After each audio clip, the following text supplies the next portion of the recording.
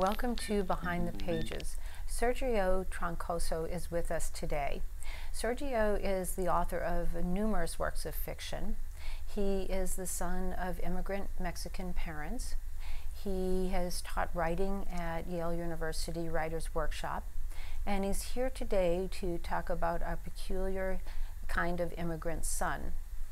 This is a collection of short stories that are linked to each other basically by the theme of trying to uh, decide who you are in the world and what place you have when you are the first generation son of immigrant parents. Welcome. Thank you for inviting me to your program. We're very happy to have you here. Um, your book is, uh, as I said, it's a series of stories that are sort of linked to each other. Do you want to tell us a little bit about the book? Sure. It's a collection of 13 linked stories, mm-hmm. and the stories are broadly focused on immigration, first generation immigrants, mm-hmm. um, mostly Mexican American immigrants, mm-hmm. uh, beyond the border as they mm-hmm. go into places like Connecticut or Boston or mm-hmm. New York. Uh, to try to find their place in the world. And mm-hmm. some of them have successes and failures. Um, and the stories are also grouped in twos and threes. So within these groups of twos or threes, characters appear and reappear mm-hmm. from a different angle. Yes. And uh, one of my graduate degrees at Yale is in philosophy, and I'm heavily into Nietzsche. Mm-hmm. And so I was playing with perspectivism and, and mm-hmm. time. And Virginia Woolf also is one of my favorite writers. So mm-hmm. I, I loved uh, how she plays with time in many of her works. Mm-hmm. Uh, the, the first story is about a man attending his father's wake it's clear from his interior monologue that he had a very complicated relationship with his parents. Uh, can you tell us about that? Sure. It's David Calderon. He's mm-hmm. the character in the first story, which is called Rosary on the Border. Mm-hmm. And he's 50, and he left El Paso um, coming from a very poor background mm-hmm. and took sort of leaps and bounds um, to study in Boston mm-hmm. and is trying to find his place. So he goes back to El Paso because his father has died. Mm-hmm. And this, this funeral prompts all these questions as to what happened when he left home. Mm-hmm. Did he create a new home in Connecticut and, and Boston when he mm-hmm. left? And so the relationship was in part that his parents didn't understand who he was or who he became mm-hmm. on the one hand, but on the other hand, David really learned how to survive, how to work until you drop, mm-hmm. how you know that Mexican immigrant work ethic mm-hmm. that that really was very valuable to him to succeed. But that same ethic, that same value from the border mm-hmm. uh, also propelled him way beyond the border so that in a sense he became alone mm-hmm. he became uh, his own person but it also separated him from his father and from his mother hmm. how, how did uh, his relationship with his father the characters um, how, how is that similar to your relationship with your father? Is there any similarity?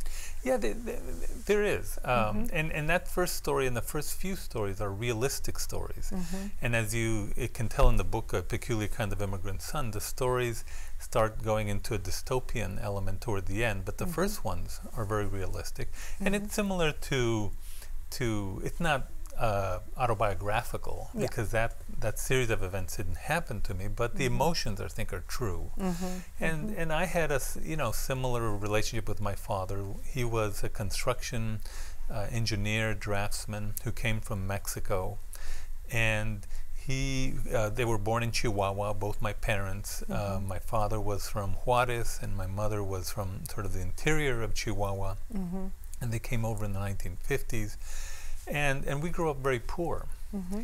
Um, in fact, the first thing I tell my, my Yale students is that I grew up without electricity mm-hmm. and an outhouse in the backyard. Mm-hmm. And then from that beginning, I ended up going to Harvard mm-hmm. and then went to Yale as a graduate student.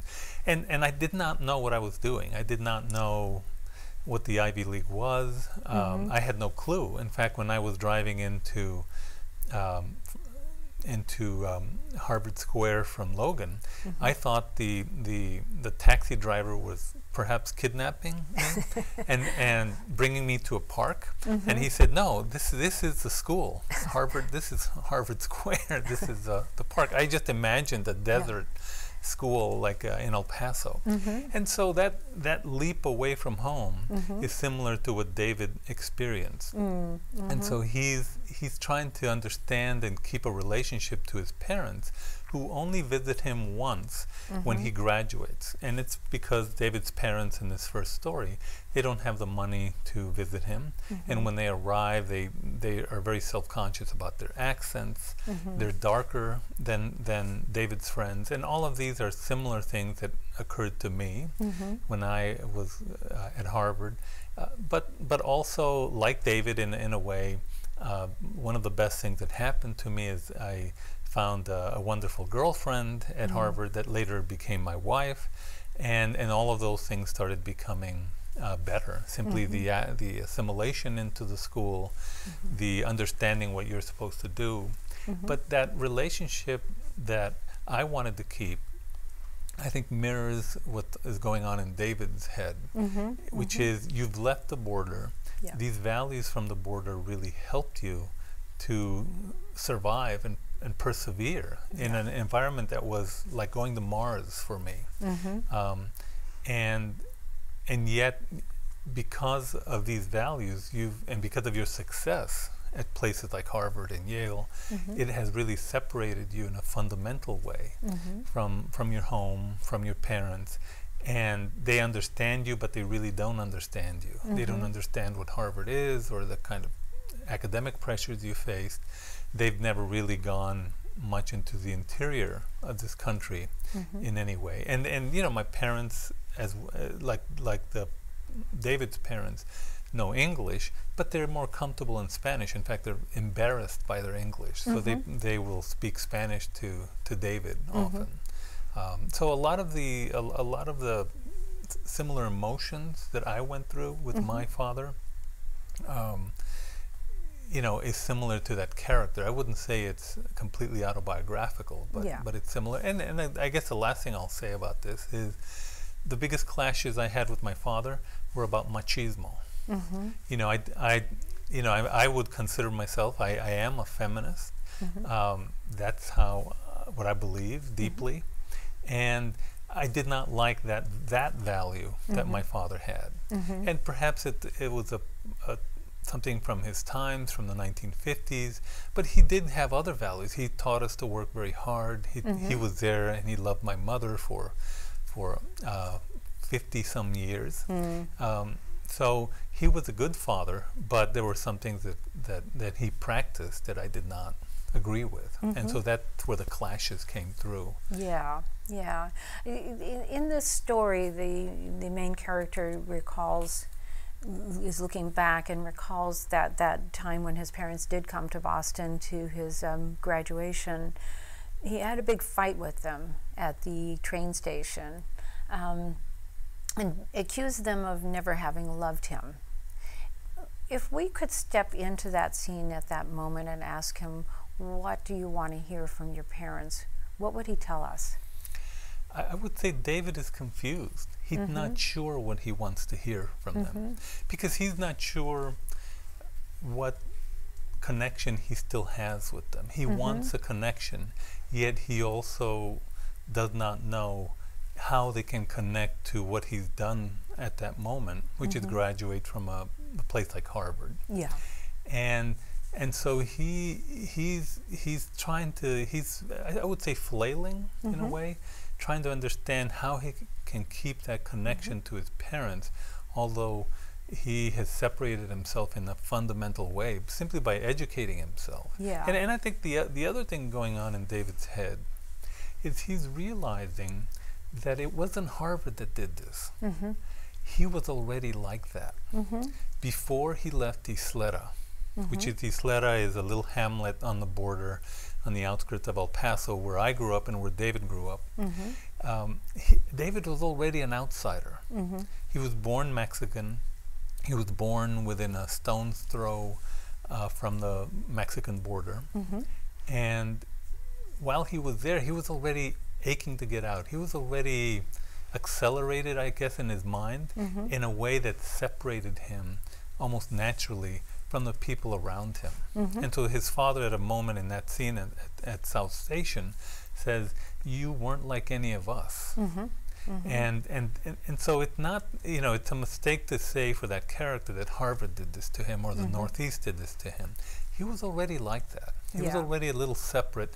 He was already uh, aching for more and Mhm. pushing himself Right. in a way that other people weren't. Mhm. And and that in itself separated him. And, and the way it became manifest was Mhm. by going to Harvard. But but it could have been in all sorts of ways. Yeah, I, I, def- I really got the impression that although his parents said you're not one of us, that he could never get away from being one of them. That his his life struggle was just to that he couldn't deny that where he came from. Absolutely. No, and, and I'm very proud to be, Mm-hmm. you know, the, the son of Mexican immigrants. I say, I've been s- saying that. That's on my website for the last 30 years. Mm-hmm. And and I, you know, I believe certainly, like David does, the character, Mm-hmm. that how I grew up is really the fundamental way, the the the new way Mm-hmm. of the pilgrims. You know, I think the pilgrims when they came here in the 1600s and began with nothing on Plymouth Rock, Mhm. not far from here, I guess. Right. Mhm. Um, they they were looking for sanctuary. They were looking for hard work, and, and they went through a lot of sacrifice and to survive this brutal world. Mhm. And I think the new immigrants coming from the south this Mm-hmm. time, from Latin America, from Mexico, from Guatemala, from Mm. Central America, they embody that spirit. Mhm. And for some reason, I think this country, uh, some people in this country anyway, Mm. are very anti-immigrant now, and they they don't recognize that they actually are replaying and renewing Mhm. the values that we have in this country Mhm. from from the pilgrims. Yes. Uh, and so Mhm. I, I believe certainly like David does that that's what Mexican and other immigrants who are doing it right Mhm. uh, embody. Right, exactly. Yeah, yeah. It's. I, I think, yeah, certainly the reality of uh, people who immigrate here is exactly that. That they come to work and to build a life, not to Yep. take. You know, which I think is sort of. A, And and, and Yeah, like my parents, they're gun ho American. Mhm, They want to yeah. be, you know, they're Mhm. they're thrilled to be in this country, Mhm. and they're proud to be in this country because they know what it means to be in this country. It Yeah. wasn't given to them; they actually chose it. Mm-hmm. Mm-hmm. In that story, um, just one last question about that specific story. In that particular scene at the train station, if we could have then asked his parents, What do you want to say to your son? What would they tell us? What would the parents say to their son? No, what would they tell us they wanted to say to their son? Well, I, you know, that's uh, I'm I'm trying to get into their heads. Mhm. Um, Mm-hmm. You know, if they could, they they would they would probably reaffirm that they love David, Mm-hmm. that they uh, believe in him. Mm-hmm. That sometimes you can believe in somebody without knowing exactly what they're doing, Mm-hmm. without understanding everything about them, Mhm. and you believe in them simply because of who they are Yeah. and, and their position in your in your Mhm. life, uh, that they're your son, that they're your daughter, that they believe in you even though they don't understand you. Mm-hmm. You know, and And that and I think that's choices. one thing. Yeah. Yeah. I think that's what they would say to him. Hmm Would they be able to tell him that they were proud of what he had accomplished? Because in his head, he thinks, at least the main character tells us, that his father disapproves of every every choice he's made, including, you Mhm. know, leaving the community, going to Boston. Well, th- that's an interesting point you bring up because Mhm. it's all about what kind of pride do you have in your child. Mm-hmm. Like my parents' version of pride was not to um, clap me on the back hmm on anything I did. Right. They would they would praise me if I actually did something good. Mm-hmm. that th- that um, from their high standards was Mhm. good. And I think nowadays parents are way too easy on their on their kids. Mhm. You know, it was this tough love, Yeah. which is okay. Yes, Mhm. you did something good, and that's terrific. Um, what's next? Right. Uh, And Mhm. as my mother, even now, my mother is still alive. I go back to Isleta, Mm-hmm. and she says in Spanish, "No te creas muy muy." Just because you went to Harvard and Yale, which means don't think of yourself as too much, too much with your, you know, chin and, and nose in the air Uh-huh. just because you went to these big schools. They hold me accountable, Mm-hmm. and and it is a different kind of pride in you. I know they're proud of me, Mm-hmm. but they also hold, hold me accountable, and they say, you know. Always have integrity. Always act the right way, even if you don't have to. Even if nobody's watching, that's how you should act. Mm-hmm. And th- those high standards are very different from, you know, I, I, I do something simple and, and good, and they're like, uh, as if I've won the Nobel Prize. My parents would never be like that. Mm-hmm. So it's a different mm-hmm. kind of pride, so Yeah. to speak. And, and I think in that scene with, with the father and David, you know, the father is is um, is pressing him, is challenging him, is saying, "You've graduated from this school. Now what? Yeah. You know, now it's up to you to get a job and do something. Stop dreaming." He's he's testing him yes. in a way. The second story in your book is uh, about uh, a man who is living in Connecticut. It's He's- David Calderon again. It's him again. Okay. Right. The first one, I don't think we ever learned his name. You know, so um, yeah. Uh, in second story, we do know his name. Um, and and and in this book, he's at his home in Connecticut um, by himself, and. You will tell us about the second story, Well, actually. it's it's called New Englander, and it's a story that begins. And David now, you see him in his retirement, maybe a few years later, and he's uh, retired to Connecticut after being a professor in in New York, and he has a nice, beautiful house, and he has a, a wife that he met in school, and he has a couple of kids, and as he's chopping wood, uh, he sees somebody coming up his very long driveway because he lives in the woods, basically. And so he goes to put away his, his, his, his axe and other things that he has, and this person is comes to rob him. This is a person who is an Anglo, as you would say in, in El Paso, which is, just means somebody who's not Mexican.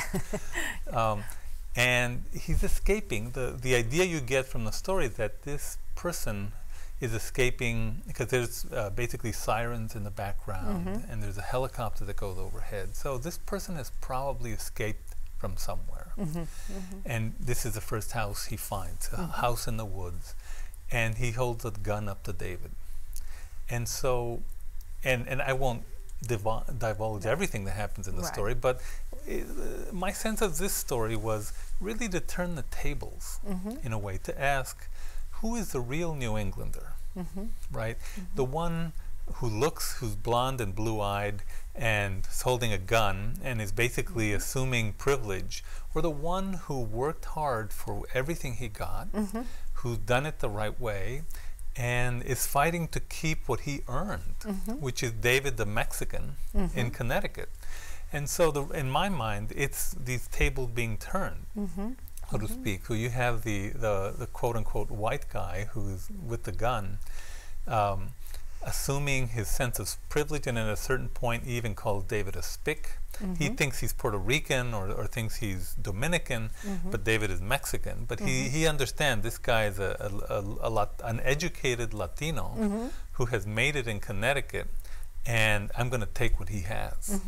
And so it's this sense of um, the table being turned on on on the values, on uh, the person uh, who David has become, mm-hmm. and and he has to at a certain point fight back. Mm-hmm. So it's also an internal issue because David, because he studied so much, mm-hmm. he's become soft and kind of a little chubby, and he has become an intellectual. He, he, he has to go back in a way to what he remembered on the street. In Isleta and how to fight to simply survive a physical al- altercation. And so this is how the story plays out that he has to remember that side, the Yes. old Isleta, the David of the border, to, to survive this horrible situation he finds himself in in his house. Well, Um, yes, because that's what we see him like in in the what we watch as we're reading the story is uh, how he reacts to the situation as it unfolds. So he begins by being sort of placating. You know, trying to like just take something and go, it's okay, it's okay, you know. And then as the story unfolds, there's a certain point at which he, you know, he goes through a metamorphosis into a different person.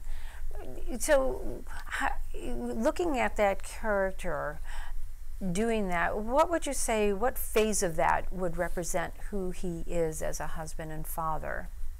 Well, in my mind, I'm mm -hmm. glad you brought that up because mm -hmm. that whole point of the the entire collection of stories yeah. is really to look at the different selves we are, mm -hmm. the perspectivism.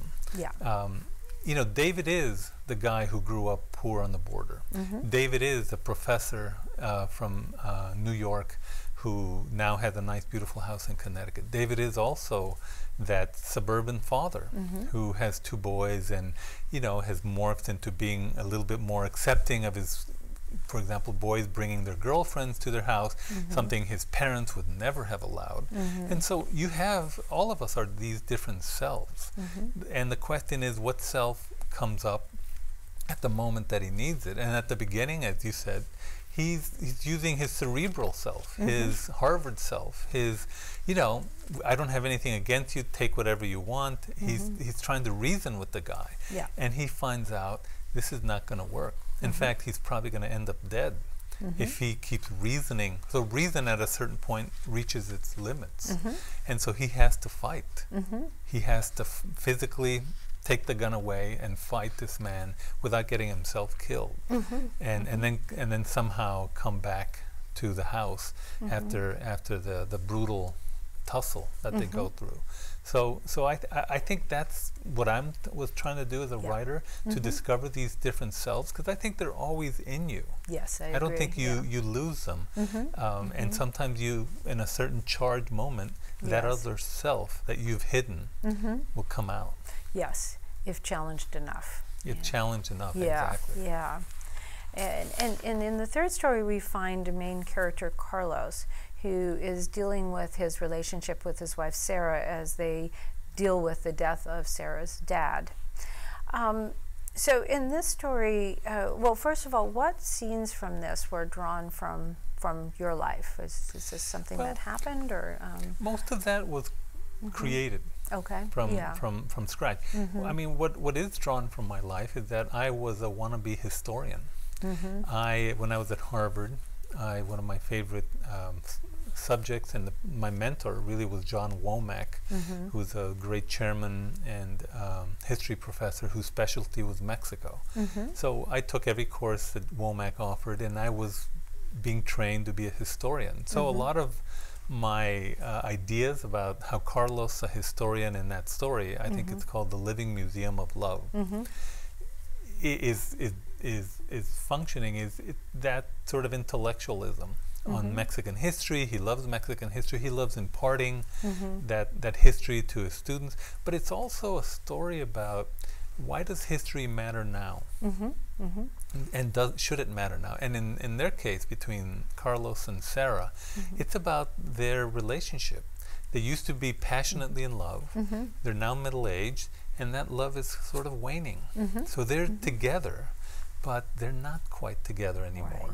And so, so they're yeah. both trying to recapture that. Mm-hmm. And that's why it's almost like a living museum, so to speak. So it's it's trying to recapture that moment, that spark, mm-hmm. that love yes. that they had, and and it's also being played out through mm-hmm. through David's sense of history and what well, how history that's, matters. Yeah, that was sort of the impression I had. We're looking at the big picture of history, literal history that you study, and then the history of their relationship.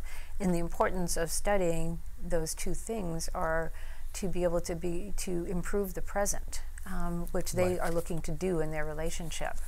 Right, and, and that is the reason you study history, mm-hmm. not mm-hmm. not simply to learn facts, right. but because um, somebody like Nietzsche would say, mm-hmm. um, there's an eternal return. History mm-hmm. repeats itself in a mm-hmm. in a maybe it's not exactly the same way, right. but in a in a similar mm-hmm. melody, and and so for us to understand what happened in a moment when the country is in such and such a place or mm-hmm. the economy is in such and such a place right. the, these you can get a sense of by studying history yes. what will play out politically what will play out economically mm-hmm. uh, and the same thing with with with people in Yes. a way. So I always find it frustrating. It's like, don't you remember? It wasn't that long ago that you know, yeah. Right. uh, but you know, we watch people making the same mistakes either in a global sense or even a personal sense. you Right, know. or even your you know and Yeah. even in your own children you, mhm. you c- you try to tell them you know you know this is not going to play out right because i've Yeah. been through that Right. i've already done that in my Yeah. it's my history right. but but they don't necessarily want to listen to you yeah. and so that it's that tug of war of history doesn't matter and it actually matters because it helps you today Yes. if you Mm-hmm. understand it Yes, it does. Uh, uh, one thing I found interested, interesting in this story is the names of the characters. Um, he's the only one with a Spanish-sounding name. It, how, in naming the characters, was that your intention to sort of illustrate how how he feels a bit abandoned? Or it, which one in Car- Okay, the Carlos, his wife is Sarah. Um, his son is Ethan and Jonathan. hmm Yeah. Um, Yeah, I mean, the, he they ch- they chose names that are very Americanized, and so he does Mhm. feel a bit left in the lurch. I Mhm. think that's that's correct, and mm. and I do think very hard about the the the names that I choose, Mhm. and and you know he's also cross borders. That's Mhm. one of the things to understand about Carlos, is that if he were in El Paso, Mhm. um, he wouldn't necessarily be um, a historian. Mhm. He he would you know he might have made may have been an engineer or something like that. Mm. So he even being a historian about Mexico, it's Mhm. almost a contradiction. Yeah. He- On the one hand, he's studying his history, Yes. but on the other hand, he's an intellectual, and so that has also separated him from, Mhm. from. So they could have named, you know, used Luis or Mhm. or um, you know Jesus or something like that, but they didn't, Right. and so so it is. It I is thought it was just a very clever way to, without like, you know, um, telling your readers to just kind of show, you know, like, okay, this this man still doesn't see himself. There's something separate about him. Yeah. You know. Yeah. No, I, and I think that's true. I Mhm. think that that's a very astute observation Mhm. on your point that, you know, he is separated from where he began, Yeah. and some of it was his own doing. Mhm. Some of it was he he decided to study this in a way that was pell mell, you know, to the to the Mhm. core. Yes. But that in itself separated Mhm. him from from his beginning. Mm-hmm. Yeah, So. it did. Um, uh, it, it just, just sort of uh, in the minute or so that we have left, um, how, how did your roots as a Mexican American affect you when you were still in grade school? Were you proud of your roots? Were you um, feeling like you needed to hide Oh, them? absolutely. Mm-hmm. I mean, Okay. I, I'm still proud of my roots, but Mhm. absolutely when well, I was as in grade adults, we often are. Sometimes as children, it's different. So I'm just, yeah, I mean, I would say very Mhm. congratulations to your parents if they made you feel proud of who you were. Well, they did. Mhm. They did, and and I had I had parents and also teachers who Mhm. taught me to be proud Mhm. of being Mexican and, and a Mhm. Mexican immigrant. yeah. Um, in fourth grade, uh, Mrs. Vega was my favorite teacher. She Uh-huh. recently passed away, but she actually came to my Harvard graduation. oh, my wow. only grade school teacher that came. Yeah. We used to dance Mexican cumbias uh huh. on Friday in her class um, because she wanted to teach uh, all the kids how to dance uh, Mhm. Mexican music. Wonderful. So, Well, I'm very much enjoyed having you here, but unfortunately, we are out of time. To our, our listeners, you have been watching Behind the Pages from the staff of 22 City View. I'm Diane Goshgarian. And thanks again so much for being here. You can Thank you continue.